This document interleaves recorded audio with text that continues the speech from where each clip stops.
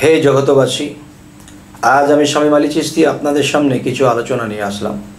সে আলোচনাটি হলো, আপনি কোন দিন মরে যাবেন? আপনি, আমি এই পৃথিবীতে এসেছি, একদিন তো মারা যাব। কিন্তু কোন দিন মরে যাবেন এবং মরার আগে আপনার কি কি লক্ষণ এবং কি কি জিনিস আপনি স্বপ্নযোগে দেখতে পাবেন? অলিয়া উলিয়ারা যাহারা আছে তারা আল্লাহর তরফ থেকে খবর পাবে। এমনকি জিব্রাইল ফেরেস্তা এসে তাকে বলে যাবে, আপনার এমুক দিন টাইম আছে, আমরা তো আর ওরকম হতে পারিনি। যদি আল্লাহ দয়া করি, তবে পারব। তবে সকল ব্যক্তির জন্য একটা জিনিস কি? সে ভালো মানুষ হোক বা খারাপ মানুষ হোক, তার কাছে স্বপ্ন আসবে। কিন্তু এক হাজার ভাগের ভিতরে দুইটা লোক বা একটা লোক খুঁজে পাবেন যে স্বপ্নের ব্যাখ্যা বুঝে বুঝে চলে।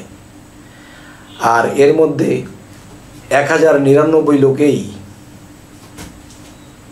স্বপ্নের ব্যাখ্যা বোঝে, চলে না। কিন্তু আল্লাহ কিন্তু আমাদেরকে অবশ্যই খবর দেন। তবে দেখি, কি কি বিষয়গুলো দেখলে আমি মারা যাব, না আমার বাবা মারা যাবে, না আমার চাচা মারা যাবে? যেমন এর আগে আলোচনা করেছিলাম একটা বিষয়, তো আজকে এই বিষয়গুলোই আরেক রকম। যেগুলো শিক্ষণীয় বিষয়। যেমন,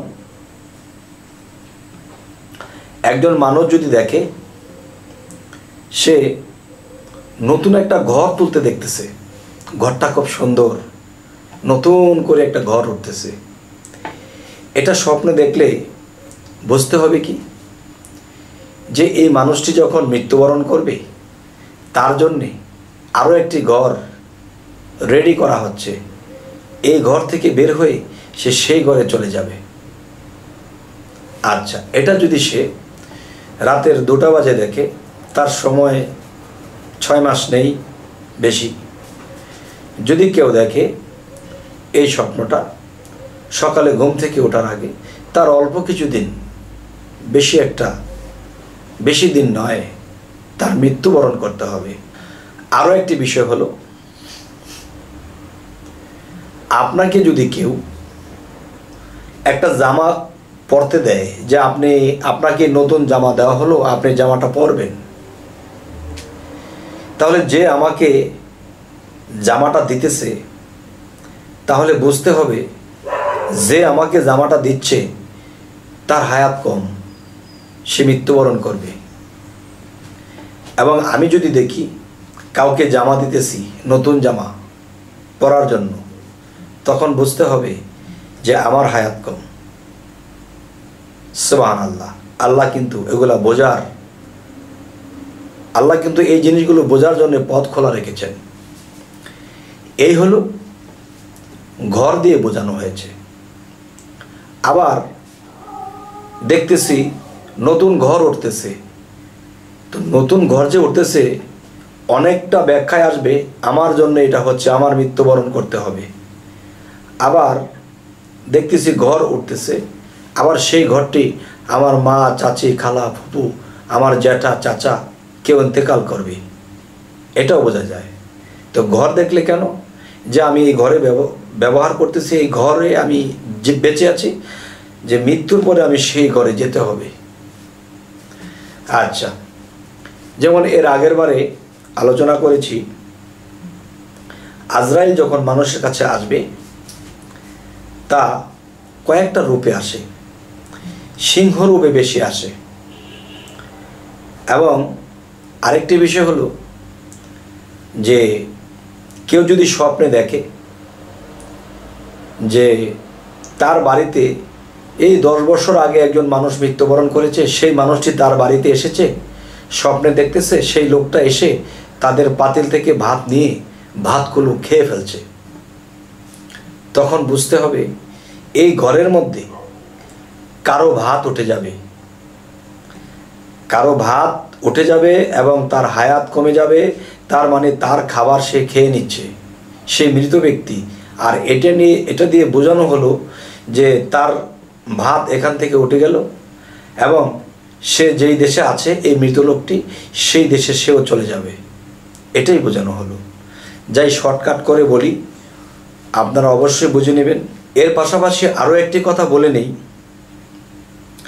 কেউ যদি দেখে যে একজন গর্ভবাত, একজন গর্ভবতী, একজন মেয়ে বা গর্ভবতী একটা মহিলা, সে যদি দেখে স্বপ্নে যে তার ডিম ভাসতে গেছে বা ডিম উপর থেকে নামাতে গেছে, ডিমটা হাত থেকে পরে ভেঙে গেছে কিংবা যদি দেখে ডিম কাকে এসে এই ডিমকে ফুটো করে কুসুম খেয়ে চলে গেছে, বা কেউ ডিম নিয়ে যাচ্ছে, ডিম হাতের থেকে পড়ে সবগুলো ডিম ভেঙে গেছে, তখন বুঝতে হবে সতর্কবাণী যে তার গর্ভের বাচ্চাটা টিকবে না। হে জগতবাসী যদি এই ইঙ্গিতগুলো আমরা বুঝতে পারি, তাহলে আমাদের সামনে বিপদ আসলে তখন আমরা যখন একটু বুঝে বুঝে চলব, তখন সেই বিপদ থেকে আমরা রক্ষা পাব। হ্যাঁ তবে আরও কিছু কথা হলো কি? যে এই আলোচনা যারা নিয়মিত আমাদের এই ভিডিওগুলো দেখতেছেন, এক একটা পর্বে বা এক একটা ভিডিওতে আমরা তিনটা চারটা স্বপ্নের ব্যাখ্যা বলে থাকি। তাহলে হিসেব মিলাবেন যে তিরিশটা ভিডিওতে যদি দুইটা করে স্বপ্নের কথা বলা হয়, ব্যাখ্যা সহকারে, তাহলে ষাট ষাটটা ব্যাখ্যা তার শিখা হলো। তাহলে ষাটটা ব্যাখ্যা যদি কেউ শিখে রাখে, এখন জীবনে চলার পথে যে কোনো একটা দৃশ্য বা যে কোনো একটা স্বপ্ন তিনি দেখল, তখন এই ষাটটার মধ্যে একটা তার মিল পড়তে পারে। আরে এটা না, এটা হবে। তখন সে বিপদ থেকে এড়িয়ে চলতে পারবে। এই জন্য বলি কি আমাদের এই ভিডিওগুলো আপনারা নিয়মিত দেখুন। অবশ্যই আপনারা লাভবান হবেন।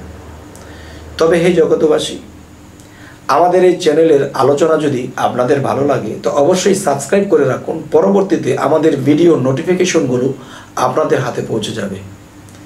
তবে এই বলে আজ রাখব। সকলে ভালো থাকবেন। আল্লাহ হাফিজ।